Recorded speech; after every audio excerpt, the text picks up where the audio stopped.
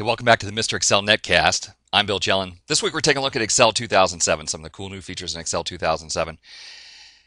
Do you have a manager whose eyes just glaze over when you show them a column of numbers? I mean, I see this all the time. They've added some great new data visualization. So I have here a simple report that shows revenue by customer.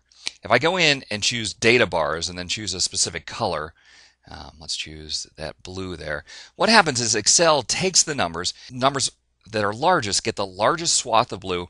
The numbers that are the smallest get the smallest swath of blue.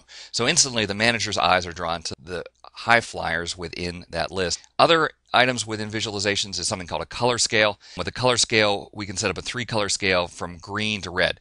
Largest numbers in green, smallest numbers in red. Or they have four different schemes here. Largest numbers in red, smallest numbers in green.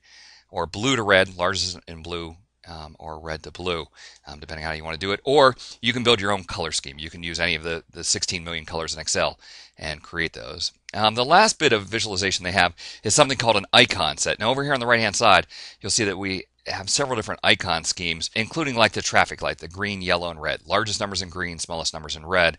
Um, but they've also added a, a, whole bunch of other ones, um, you know, the arrows, or my favorite, the cell phone power bars.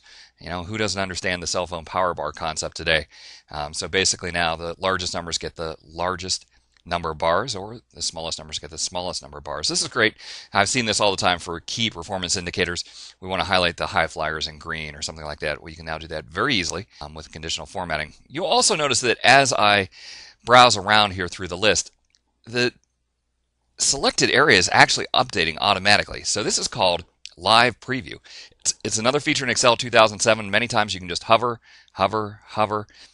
When you finally find one that looks good, um, choose that and it will apply it. So you don't have to um, choose something and then go back, choose something and then go back, choose something and go back. You can just hover over it in the um, in the menu and uh, it'll show and a live preview of exactly what it's going to look like. Some great new features in Excel 2007.